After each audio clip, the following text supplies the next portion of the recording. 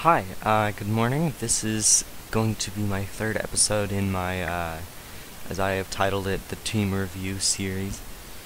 Um, I'm going to be looking over the Chengdu Hunters team today, which I'm honestly really excited for, mostly because um, I have watched more Chinese contenders than I have any other um, Tier 2 scene.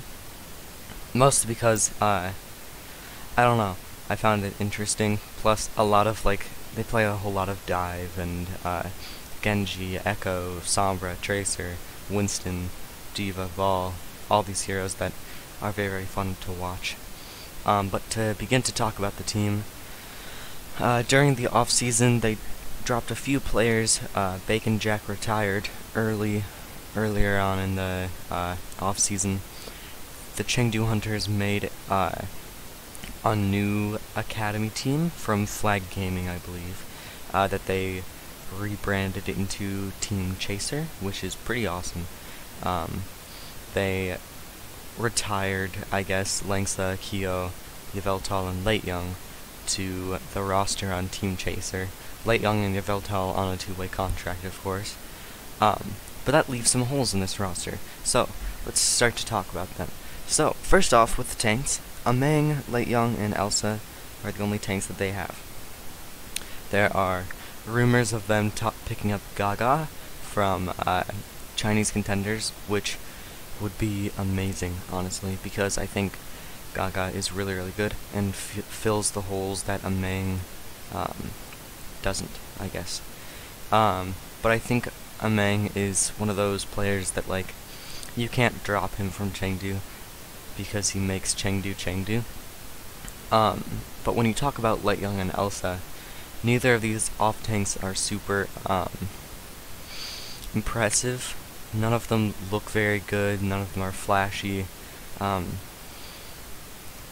I think it's okay to have Late Young on a two-way contract, but I would have dropped one of these players, put the other on a two-way contract, and then signed someone like like Li Ge from Chinese Contenders before he was picked up by Hangzhou. Um, that would have been the like the perfect situation. You have Gaga, Li Ge, uh, and then Ameng but uh, I think Elsa will be okay. I guess like average, below average in the um, in the Overwatch League, but with the rest of the moves that this team is making, this team could still be very good. So talking about the support line, uh, who was put on a two-way contract. You also have uh, Molly, and that's it. So uh, Molly's an interesting one there's rumors of him uh, being signed to other teams, the Shanghai Dragons. Um, I don't know how much I believe that because I think um, I assumed that both of these players would stay on the roster just because they both performed pretty good throughout the the um, the last season. But uh, I think Yveltal being on two A is good if they're picking up a new uh, main support from Chinese contenders. Uh, Molly, I think, is pretty good and should stay starting on this roster.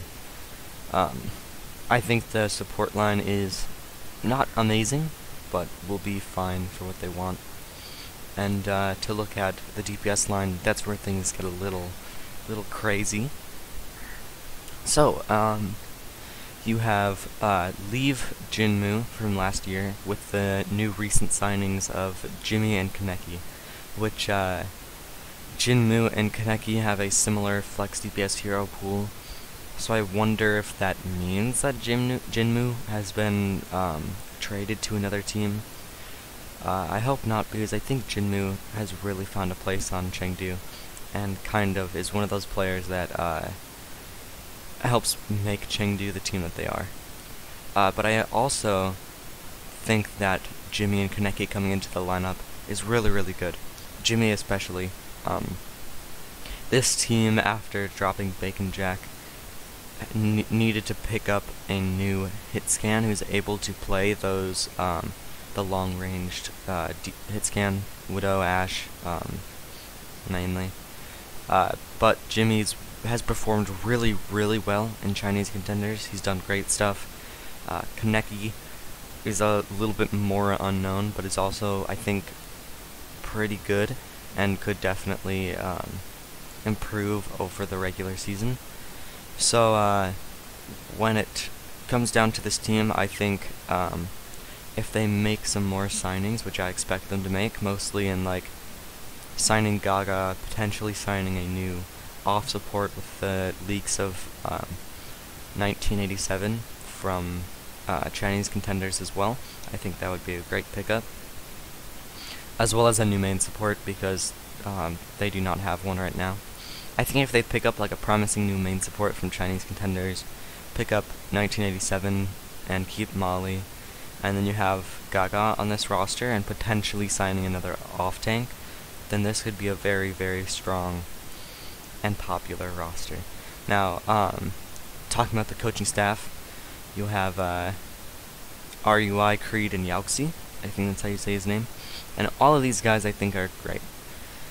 Um, RUI, of course, had to take a break. I think it was um, earlier this season because of um, personal issues. But he's a great head coach. I think he's going to continue to do great things, and he helps build Chengdu into the team that we all know and love. Um, Creed and Yauxi. Creed comes from uh, Guangzhou. Yauxi comes from Contenders. And uh, I think both of these coaches will make good improvements to the Chengdu Hunters, and I also think that like this is the best coaching staff that Chengdu has ever had. So hopefully that means something to uh, how their next season will be going and how well they'll be doing. Now, uh, talking about where I would place these te this team, because when it comes down to it, like, um, do I think they'll be better than Atlanta? I think they'll be around the same level, and that's why I'm inclined to put them right in the middle with Atlanta. Now, do I want to put them above or below? I think at the moment I want to put Atlanta below them just because um, I like Chengdu, Chengdu Hunter's um, roster more. There's more potential there, um, as well as the coaching staff. I think is a lot better than uh, Atlanta's. Um, yeah, so that's all for today. Thank you guys for coming and watching. If you liked um, like the video, make sure to like it and subscribe, all that stuff. Um, I'll be posting another one of these in, I think, every two days is what I've decided, just so I have time to put in some other stuff as well. New content will be coming out. I'm planning to um, put out my POV from the school matches that I play for one map a week. Um, as well as I think I have some other content stuff in the works, and hopefully we'll get some of that out there. So yeah, thank you guys again.